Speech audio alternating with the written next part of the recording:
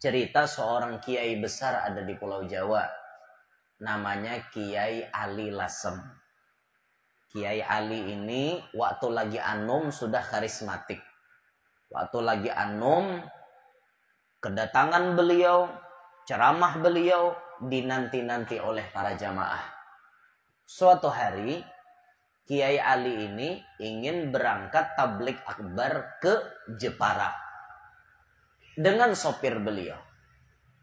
Ketika di jalan, Sidin berjalan bawa mobil, dikawai oleh bibinian.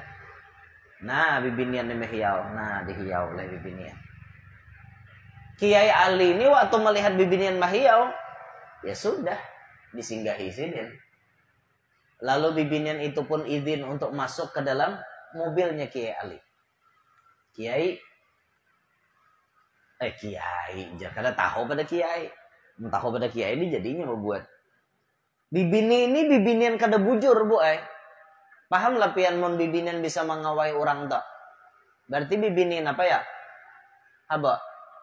WTS bu eh. Wanita tunasusila.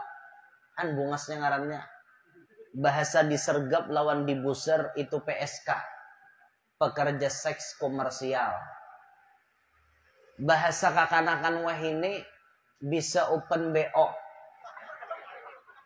bahasa kami di Kalua lahong. Nahap lagi gitu salar kada tahu di lahong orang mana gerang bibi ini boy binian kada baik kupu-kupu malam. Kini hidup wanita si kupu-kupu malam. Tapi ada nasalah lirik semalam lah. Kini hidup wanita si kupu-kupu malam. salah lirik menyanyi. Sawat viral itu salah lirik tetangga aja tetawaan dengar.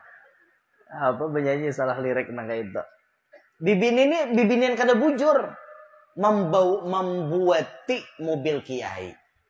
Kiai ini sudah menebak karena pakaiannya seksi. Kada nutup aurat dengan benar. Ini binian kada bujur jar kiai. Tapi kiai Ali ini orang yang paling paham. Di sini ada celah kebaikan. Kalau Sidin bisa memasukkan ilmu-ilmu beliau kepada si bibin ini tadi. Mas-mas jar bibin itu. Boleh ikut boleh jadi kiai tadi.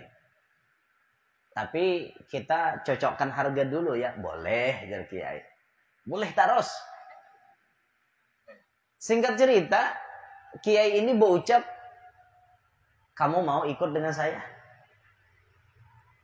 Bisa. Yang penting bayarannya pas. Oke, kamu ikut sama saya. Saya mau ke Jepara. Kamu ikut ya? Ke mana?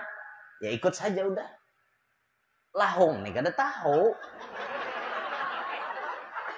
tak sambat juga ya lahong pulang le kanyaman nampang si lahong nih kada tahu kada tahu pada nang di muka nih kiai. Karena kiai Ali Lasem itu lagi anom perawakannya kayak orang bule kayak orang luar negeri. Gagah lagi anom kan? Lagi anom. Jadi dikira si lahong ini tadi kan lahong pulang. Dikiranya dibawa ke hotel atau dibawa ke mana kencan bercinta. Eh sekalinya pengawalan ada di depan menyambut kiai. Takajut-kajut lah hong. Apa ini jelahong takajut lah hong. Kenapa? Karena dibawa ke acara tablik akbar. Ribuan manusia telah menanti kedatangan Kiai Ali. Alangkah takajutnya Lahong tadi. Nah, Jalahong. Salah buati mobil kayaknya aku nek. Aku jurang jaga tahu mobil orang alim ini kan akan jadi muti. Kada eh ngaran sudah tabu buat napa lagi? Kiai Ali ini orangnya bijak benar pian menyikapi. Turun Kiai Ali pada mobil disambut. Maaf ya, uh, tolong dong panggilin panitia ibu-ibu suruh ke sini. Oh, inggih Kiai, inggih. Dipanggil bukan ibu-ibu. Ya anggap aja misalnya kayak banser tapi dari binian. Datang pengawalan. Boleh nggak uh, itu saya minjem kerudung. Kenapa Kiai? Itu Bunyai lupa bawa kerudung. Bunyai itu kan sebutan kehormatan untuk istri Kiai. Ada di Jawa, Bunyai. Itu kalau di Kalua bila begelar nyai berarti karaeng. Pamamayan. Itu di Kalua. Bila di Kalua tuh ada di galeri orang nyai itu berarti pamamayan orangnya. Amun di Jawa Bunyai itu terhormat benar karena istri Kiai. Nah, oh inggih Kiai, inggih Kiai, kami ambilkan, mau ambilkan bibinya. Lalu kerudung datang jar Kiai, pakai. Pakai.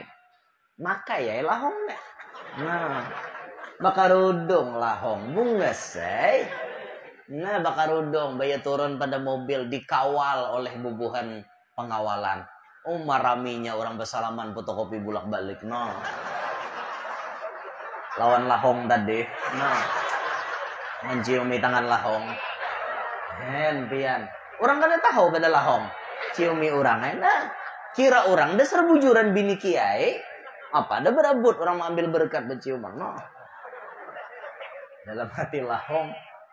Buangnya bukannya nak. Tolong nambahilah dadanya pandir kayak itu. Dalam bahasanya, aku ini orang riget, kenapa tanganku ini maka diciumi orang?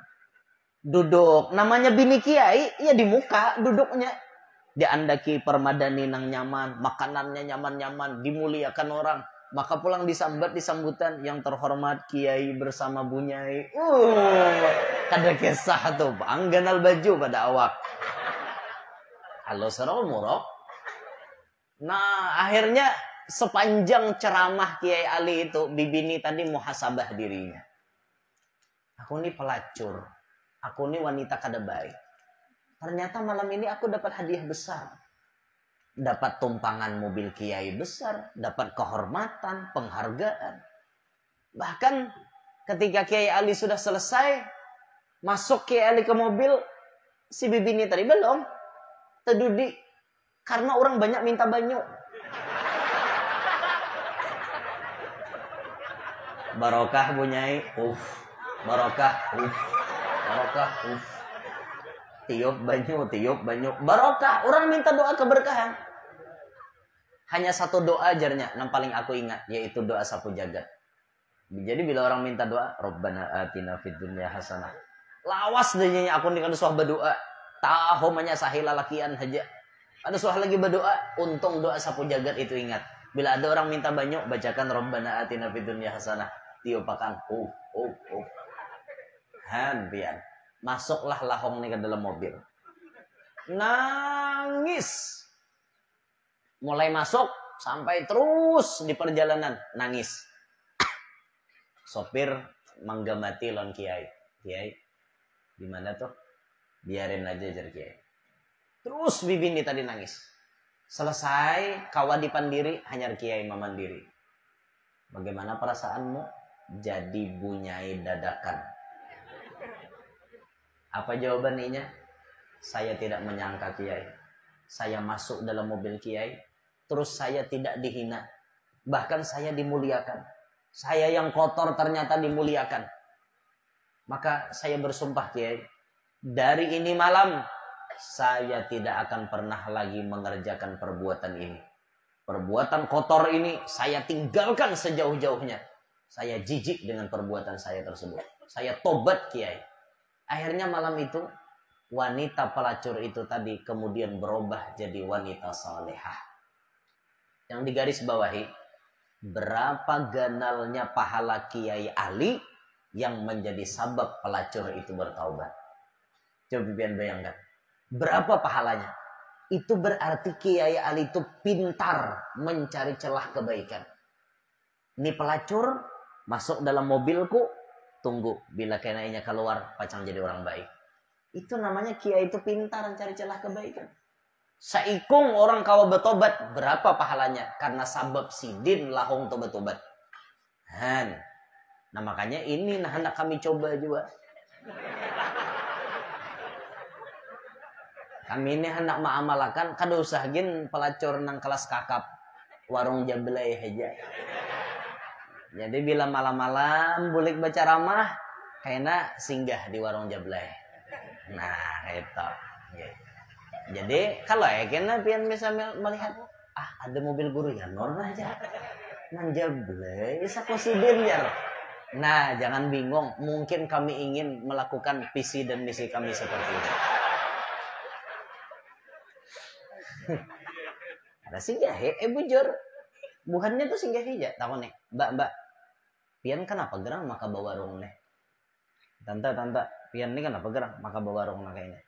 Aku sidin hendak duit. Makanya aku bawa warung. Aku mau ada nama malam ini, bari aku duit 2 juta, aku tutup Nah, berarti kita tahu dah. Supaya sidin kada berdosa, malam itu ungkayakan 2 juta. Nah, tante, ini duit 2 juta. Pian tutup warung pian. Ulun kada bulik bila pian kada nutup. Tutup ini juga. Inggih ya sidin, ulun tutup. Nah, sidin nutup akan warung. Bah tuntung sidin nutup, bulik kita jangan bermalam.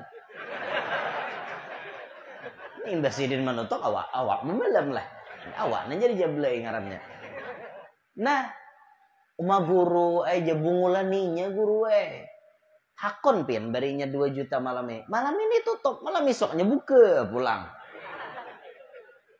Eh coba kita kita garis bawahi. Malam ini barang inya kada menggawi dosa. Malam besok tuh urusan inya. Siapa tahu berkat malam ini inya kada berdosa esok-esok pintu hidayah sudah terbuka lebar untuk inya. Kenal pahala kau pakai itu.